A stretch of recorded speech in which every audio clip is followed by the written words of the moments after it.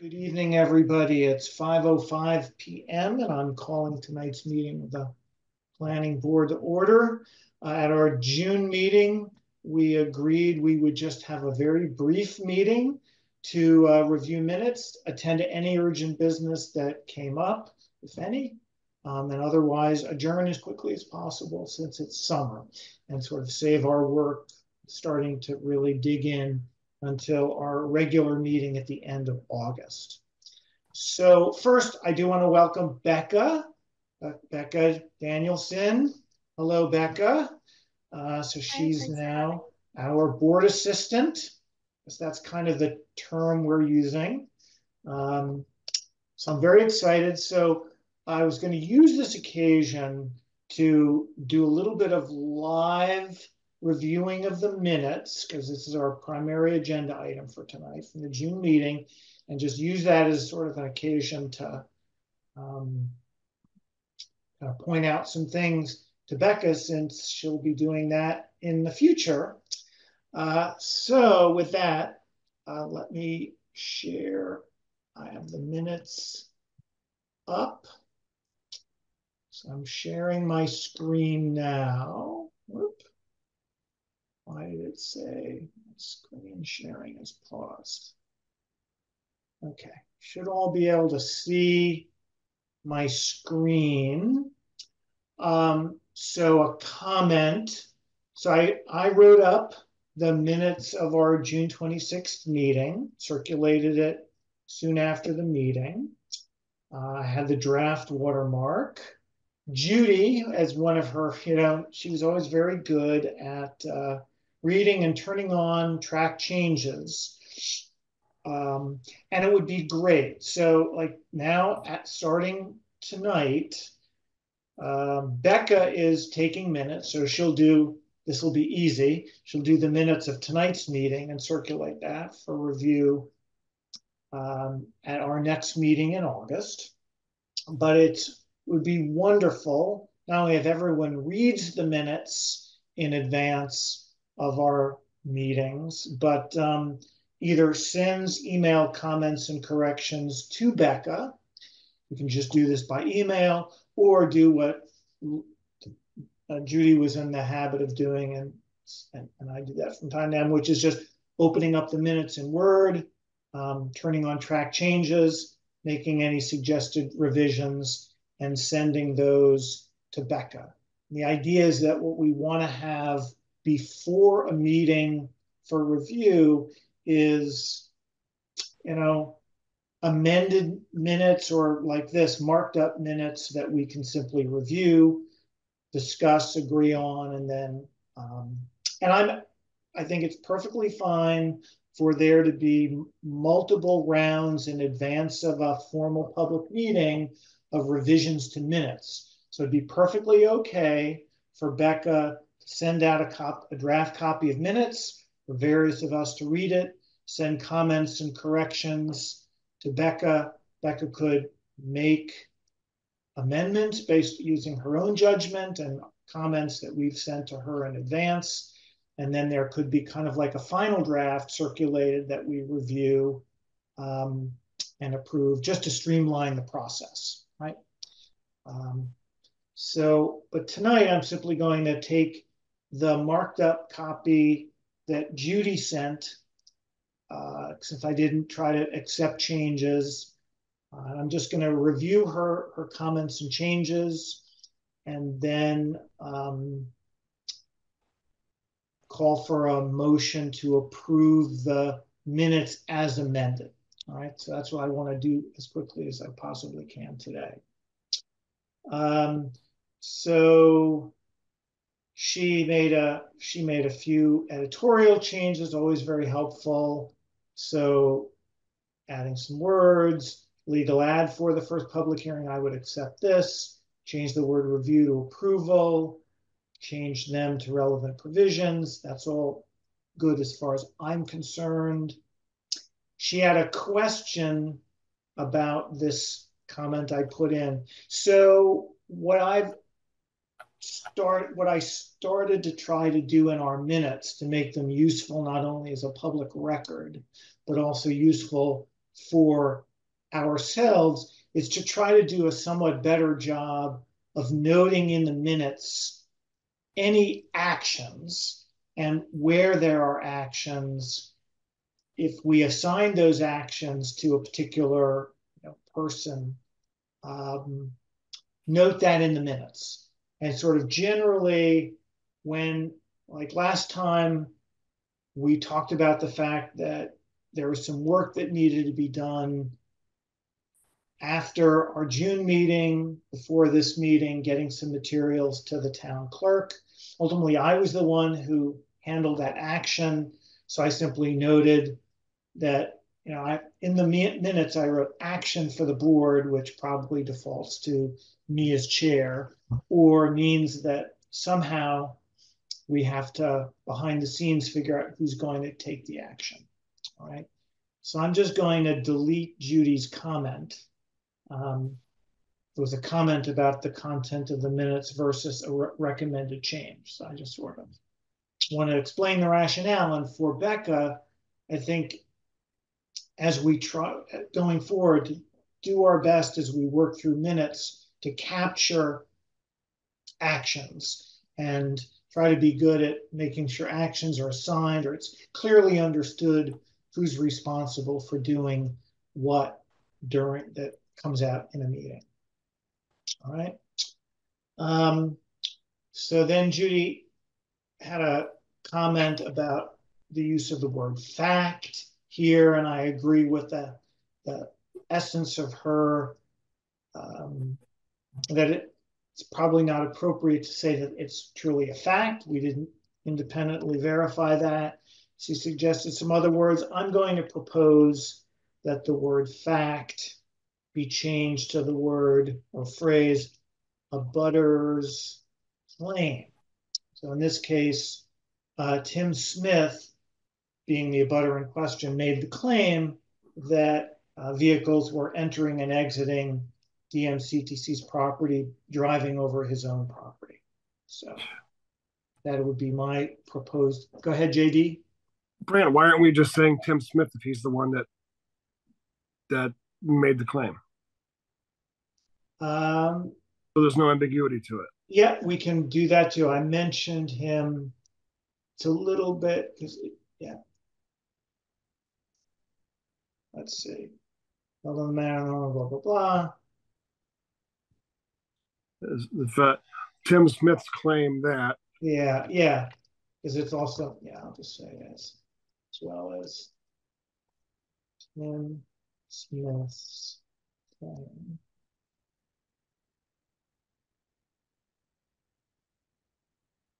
So the only thing I'm, it's a little bit awkward just because I mentioned, I actually identify him in a subsequent sentence.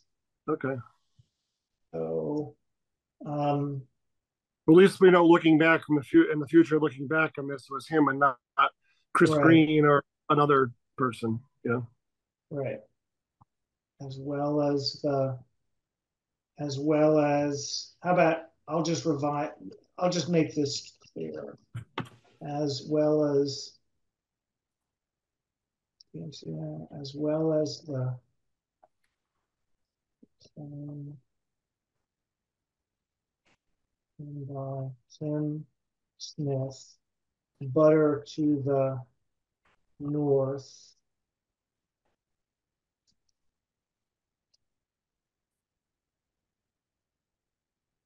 Driving across his property.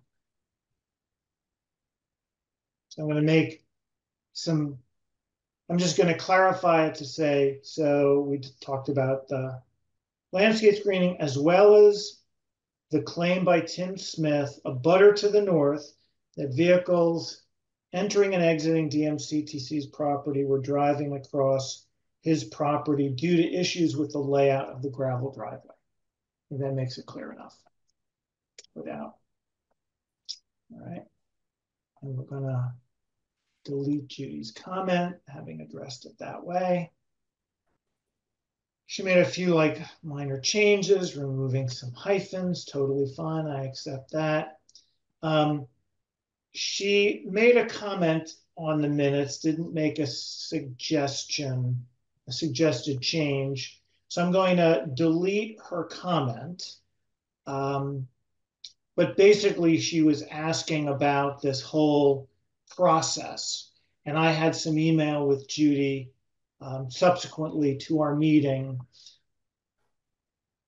And basically, I'll just sort of say so the minutes are accurate, so we don't need to revise the minutes. Um, the, the point is that when it comes to the landscape screening, the way I would summarize the situation is that the approved site plan lays out some landscape screening detail that A, have not been implemented, and B, we no longer want implemented, and nor does the abutter to the north, right? So, but the only legally valid way to address this, we can't sort of informally ask DMCTC, even if they want to. And I've had emails with DMCTC, like they're very willing, they're neighborly, they're trying to you know make everybody happy. Um, but we don't have the legal authority to ask them to submit a revised plan or new documents. I mean, legally, we've approved a particular site plan, and any deviations from that site plan technically put them in violation, even if we don't want to enforce it they would be open to attempts to make them enforce an approved plan that would create grief for an abutter. So, in talking to our new town administrator, he helped me understand the right way to do this, which may seem, as Judy felt, like kind of unnecessary, like maybe in the past everything has worked out very informally, but Peter Kane stressed to me that in this kind of situation, we, the planning board, have to work through the building commissioner. We have to formally ask the building commissioner to make a determination and provide guidance and direction. And it's only the building commissioner that can provide guidance and direction that's legally binding. And that is captured in a draft letter that I wrote and circulated, but we're not going to discuss tonight. So I want to defer that whole matter to August. All right. Uh, I did say that we would. I, I don't know if I said it in last time, last meeting that I would draft this letter, um, but I didn't want to take that up tonight. All right. Um, so Judy was just asking about the process. And I'm sort of reiterating for, for all of you and for the record that according to the town administrator, um, yeah, we just can't say, hey, DMCTC, send us a new plan, give us a new planning plan that makes everybody happy, and we'll just sort of treat it as the new approved site plan. That do, it just doesn't work that way. And it's not necessarily the case that we need to go through a, another whole formal site plan review either just to address the landscape screening issue. But whatever we do has to be at the direction of the building commissioner. All right, so that's that's what's going on here. Um, and I think that was then she under new business, she had no other changes to most of it. Then she made a few more comments related to the discussion of board priorities for 2025, which again is a topic that we'll resume discussing in August. She made a few editorial changes, which I'm, I, I think are all fine and perfectly happy to accept. So aside from the live changes that we made about um, updates to River Road, what I would recommend is a motion to approve these minutes as amended. I make a move, a motion to approve these minutes as amended. Okay, motion has been made. Sarah Second. seconded the motion. We'll do our roll call vote. JD made the motion, so you vote. Yes. Sarah, Yes. Laura, Yes. and I vote yes. So what, I'll- what will happen next, as a matter of process, is I'll accept all of these changes. I'll remove the draft watermark, create a final version, and send this to agenda at whately.org for posting uh, on the public website. Okay, so I've stopped sharing. There was one other agenda item that was any items not uh, anticipated within 48 hours of the meeting. And I did circulate this, but we got an email this morning. This morning? Yeah, this morning from Pete uh, Kane, our town administrator, saying that the select board plans is, is creating a new study committee for Whately to look at ways to regulate the siting and construction of large-scale battery storage facilities. And they're looking for designees from a number of town boards, including the planning board. So we've been asked to submit a name, have one of us step up to serve on this, I believe, temporary study committee. So it'll do some work on this topic and submit recommendations to the select board. Um, now, what I will say, I'll just say that I'm personally, you know, willing and interested to do this. I'm I have some interest in battery storage. I have battery storage in my house, so I'm kind of a stakeholder in though this is really large scale battery storage, not um, residential size battery storage. Um, I know that battery storage in the past, I wasn't present when this came up, has been uh, controversial within Whately. Um, I know that it's been an issue in it's a it's a big issue right now in Wendell and in other places in Western Massachusetts. So perfectly willing to put myself up as the planning board representative on this study committee. Um, and I'll simply ask if there is anyone else who feels particularly passionate on the subject because I'm happy, I can easily overcommit myself. So if one of you feels like this is something that you have a particular interest or desire in, then now now's your chance to speak up or comment on the whole topic. All right. I I'd be more interested in doing the exit 35 stuff or anything with the housing committee. I really Got like that. I know that you you participate in the housing committee, but that's really I think where my passion would be.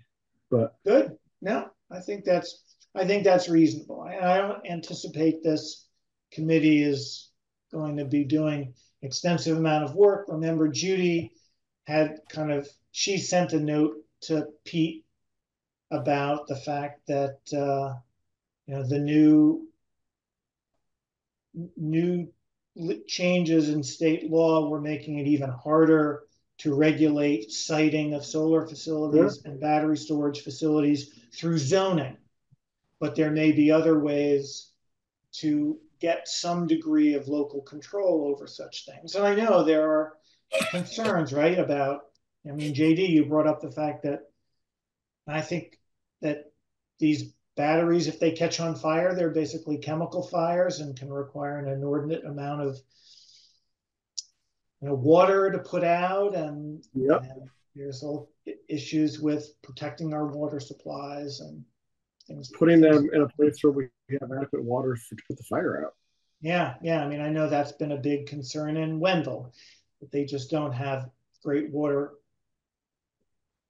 You know, just they don't believe they have the kind of water resources to put out a large scale battery fire if one uh, took place. And they don't seem to. Anyway, so um, for now, I'm going to respond to Pete and say that I'm going to be the planning board designee on this particular study committee. And like any such study committee, um, whenever any of us are designees to those committees, um, we should think of it as we have an ongoing obligation to you know, we're, we're serving on those committees as representatives of the planning board. Yep. And we have an obligation to bring updates back to the board when appropriate. Um, and just keep every, keep us all apprised of anything that's been going on in a, in one of these other committees that might be of general interest to the board. Brent, Brent, I think just about this whole energy and in general that the technology is going to move 10 times faster than the town and our response to it. Yeah, yeah. By the time we say something, it's already going to be obsolete. It's yeah, I mean, and I'm I'm I have mixed feelings, right? I I'm a I believe we need to do something about climate change and climate resilience and and um, renewable energy, and I understand the need for uh, storage. So because the sun isn't always shining and the wind isn't always blowing. Yeah. But I also understand you read these things about EVs, you know, EV vehicles that catch on fire and suddenly roadways are closed down. because right this just recently happened right and people are aware of uh, of this so and i also understand the feelings that people out in western massachusetts have about how uh, you know lawmakers in eastern massachusetts are shoving solutions to the problems out into western massachusetts because they feel that they can as opposed to it being the right thing to do. So there's a, a lot of balancing that needs to go on. Mhm. um, so I'm happy to take this Okay. on and keep you informed of how things are going. Yeah. So that's it for tonight. I have no other items, uh, unanticipated items. Is anybody else? Okay, very good.